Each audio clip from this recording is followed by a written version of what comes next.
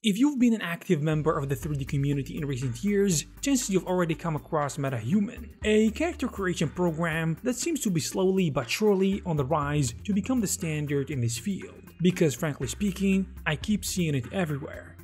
However, the journey to reach that goal isn't free of competition because on the other side, there is another software that goes by the name of Character Creator 4, which is very popular too, and it is coming with other ideas in mind to claim the number one spot for itself, or is it? So what are these tools, what are the differences between them, and which one is gonna be better for your projects and your own needs?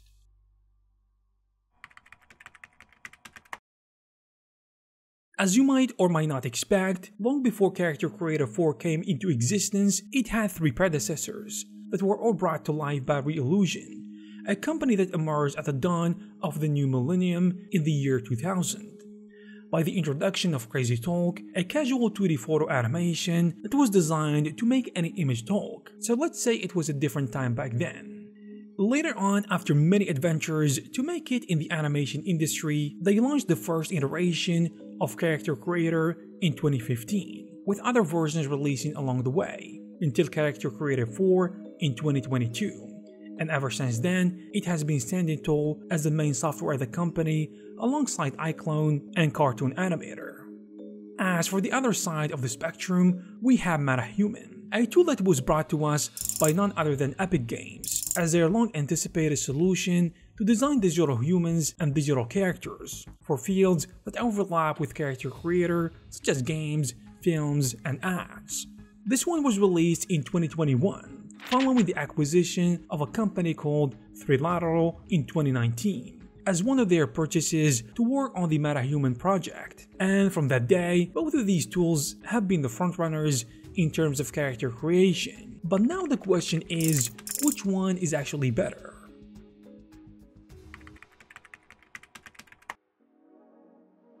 Let's first take a look at MetaHuman, which is, in my view, the less useful among the two. But hey, it gets the job done. And this is part of what made it successful.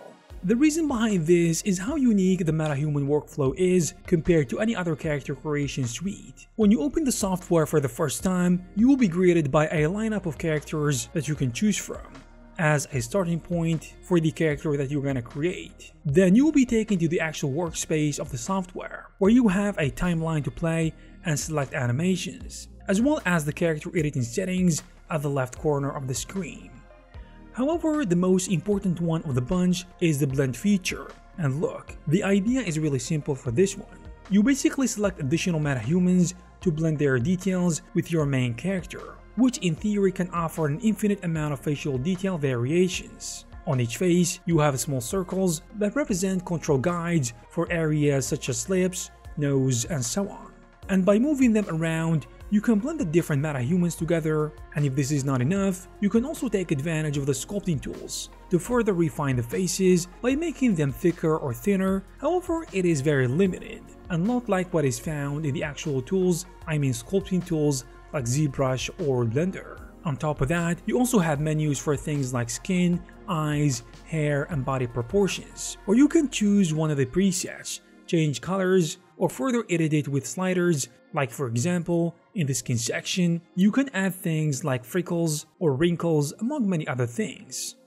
On the other side, we have Character Creator, which probably has the right to say, MetaHuman ain't got nothing on me. Anyways, in terms of layout, the user interface is also relatively simple and a bit similar to that of MetaHuman, but with a lot of more details on the screen. We have the typical 3D viewport, an animation layer in the middle, as well as a set of menus on the left side, starting with the free resources, where you have characters to pick from as a base, as well as animations, clothes, makeup, and so on.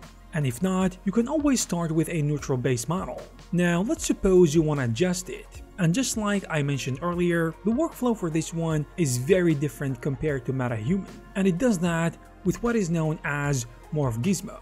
Despite how nonsensical the name may be, what it can do is quite simple. First, you can start by enabling the Morph Gizmo at the top right corner, and then it is split into two different categories. For the basic workflow, you have these yellow marks that pop up as you move around or within the face menu. then you can easily tweak elements like height and weight by simply clicking and dragging with the mouse. But for those who want to get to the next level, you can use the more detailed Morphs menu, where you can particularly edit anything you want and however you want by just moving the available sliders around. For example, in the noise menu alone, you can change the likes of scale, width, depth, the nostrils, and the list goes on, in a way similar to character creation screens in video games, but with much more detail.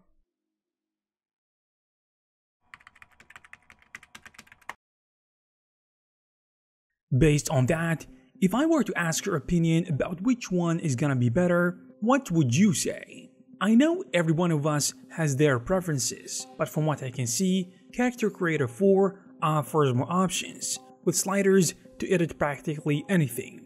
For example, in the body proportions alone, MetaHuman offers a series of weights and heights with limited adjustments, unless a third-party software is used, whereas in Character Creator 4, we can adjust those to our liking, and even edit the smaller areas of the character's body and face.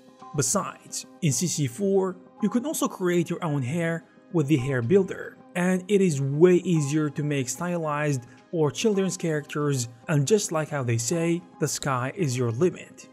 It is also worth mentioning that in both software, there are methods to import characters from software such as ZBrush to further edit, rig, or add animations, but how does that work?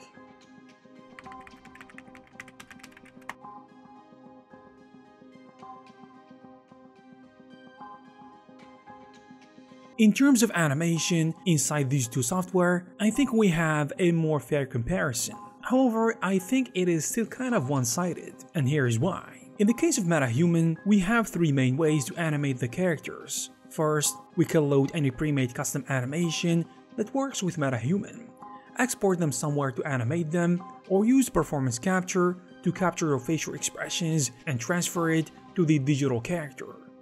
And for Character Creator 4 on the other side, while the facial motion capture feature was left for iClone, another software from Reallusion I think is better for this task. First, just like MetaHuman, it does support pre-made animations with a huge library to enjoy, as well as an auto rig feature to automatically rig imported characters, with the ability to tweak it, but it can be done with MetaHuman too and an expression and wrinkle system and profiles that you can use to apply wrinkles to any of your characters, or to add both realistic and cartoony expressions. Another area where Character Creator 4 is renowned is when it comes to clothes. Two of them can assign clothes from the library, but to be honest, it is a day and night difference. And the secret behind this is that Character Creator 4 can import any piece of clothing or prop and manually assign it to the characters that you can animate by adding a collision value. Obviously, it is not exactly like magic, even though it is pretty close.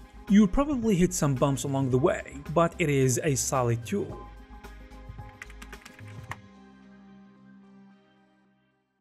As a final thought, I'm not here to bash MetaHuman. In fact, it is an excellent tool that I personally enjoy using, and one that's already making a lot of impact across multiple industries, and one that is making great impact across multiple industries. And it can be used as a core technology on any character creation pipeline, like we can see in the Matrix Awakens and Unreal Engine 5 experience. However, when we compare it to Character Creator 4, it's hard not to agree that the second is way better, but it is not free. It comes with a cost of course, a big one to a certain extent, but on the other hand, MetaHuman is free.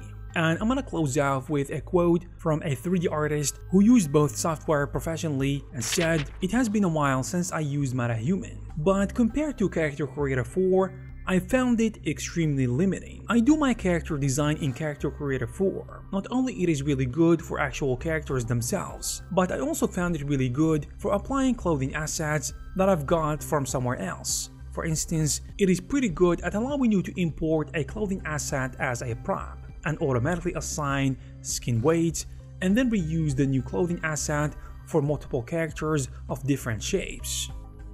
And there you have it guys. I hope you found this video useful and informative.